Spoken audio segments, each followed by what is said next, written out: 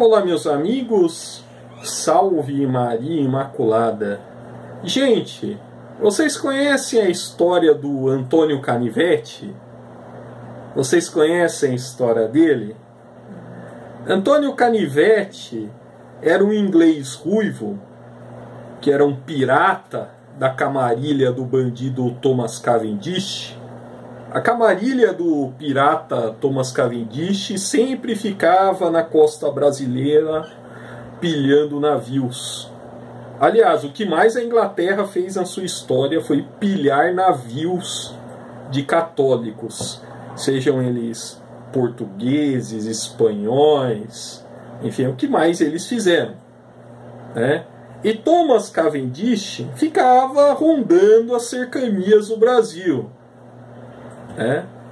ficava rondando alguns locais do Império de Portugal e Francis Drake né, fez o mesmo lá nos vices-reinos da Espanha. Ele ficava esperando a frota de navios espanhóis saírem até a Ibéria para interceptá-los e roubá-los, afundar, matar os espanhóis, enfim. É, mataram inclusive muitos missionários católicos, as ordens, enfim, foi algo terrível. É, a pirataria feita pelos ingleses foi algo devastador. É. E no meio destas batalhas do Thomas Cavendish, o Antônio Canivete, que era empregado dele, foi capturado e levado como escravo ao então governador do Rio, Martim Correia de Sá.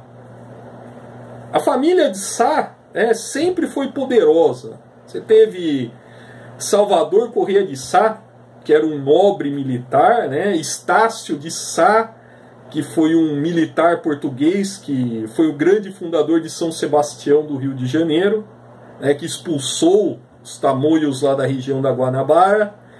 É, que venceu os índios várias vezes, é os índios que não tinham aliança com os portugueses e tinham aliança com os franceses, né? E ambos eram sobrinhos de Mendes Sá, que era administrador do Brasil, né? Mas Antônio Canivete, uma vez, ele fugiu para Angola, né? foi capturado em Angola pegaram ele, botaram no navio e mandaram ele novamente para São Sebastião do Rio de Janeiro e o entregaram a Martim de Sá. É? Que sortudo ele, né?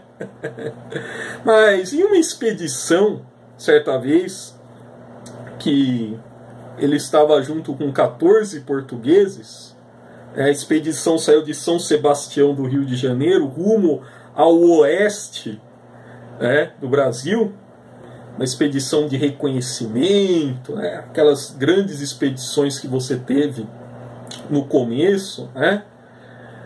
Aí no meio dessa expedição eles encontraram índios tamoios, que eram muito bravos, né? E os tamoios estavam em guerra com os portugueses. Em um momento muito complicado. E aí os índios, eles jantaram os 14 portugueses e deixaram o Antônio Canivete vivo. Né? Canivete se identificou como francês. Ele sabia dos índios e se identificou como francês. Né? Disse para, para os índios que ele era francês. E daí os, os tamoios eles tinham aliança com os franceses huguenotes, os protestantes, né, contra os portugueses. É, os portugueses tinham alianças com os tupis, inclusive Catarina de Paraguaçu costurou muitas alianças é, entre os portugueses e os índios. Né? E o cacique indígena, ela dos tamanhos, falou o seguinte para o canivete: falou, olha, seus amigos franceses nos tratavam muito bem, nós tínhamos comércio com eles, nós trocávamos algumas coisas aí, né? algum contrabando a gente fazia com eles, alguns negócios e tal, né?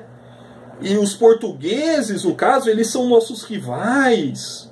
É, e por uma questão de honra, nós vamos manter você vivo, porque, veja bem, os franceses nos beneficiaram Pari Parará. É, os holandeses também tinham aliança com alguns índios também, é. E, enfim, sei que o cacique tinha uma dívida lá com os franceses e acabou deixando o canivete conviver no meio deles, manter ele vivo. É. E certo dia apareceu um velho índio, é, bastante triste, e disse ao canivete o seguinte: Olha, bons tempos que seus amigos franceses faziam comércio conosco. Hoje não temos uma faca, não temos uma machadinha, não temos nenhuma tranqueirinha aqui, não temos nada. Né?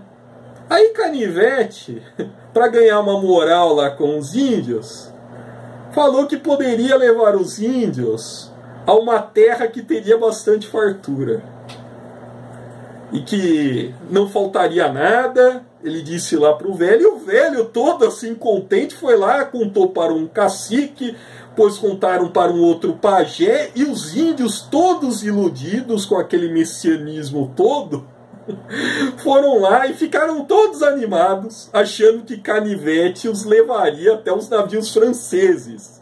É, ele prometeu levar é, aos seus amigos, né, e conterrâneos, bem entre aspas, porque ele era inglês, né, os franceses, né, e chamaram os caciques de outras tribos também, amigos dos tamoios e tal, né, e ele confirmou isso para todos os mandantes indígenas.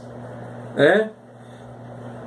E Canivete foi visto pelos índios como um grande profeta, né? Fizeram uma grande festa, fizeram, é, deram uma festa para ele, ofereceram mulheres a ele, tudo, né? E olha, esse homem vai nos levar né, para os franceses e os franceses vão nos proteger, aquela coisa e tal, né? E e os índios não conheciam o mar também, né? E levará eles para os franceses, que eram seus sócios. E olha, esse homem, que era um coitado, foi pego como escravo várias vezes, que não era francês, era inglês, né? Um pirata conseguiu enganar os índios. falando primeiro que era francês, depois falando que levaria eles para esse local, né? E chefiados né, por esse Caraíba ruivo, ele era ruivo, tinha uma barba ruiva, hum, muito grande.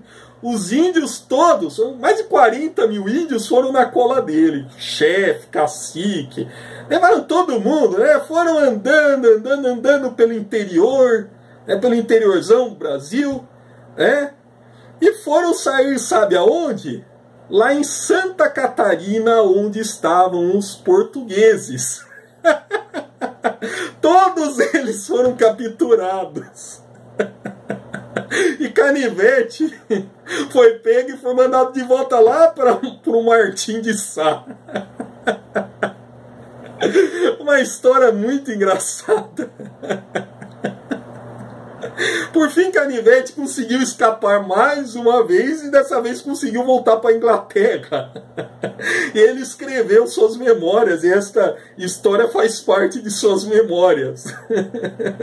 Conclusão: nunca confie em um pirata inglês. Somente esses de barba ruiva aí, né, que se apresentam como francês aí, ó. É, não é para confiar nos ingleses, não, minha gente. Não é para confiar.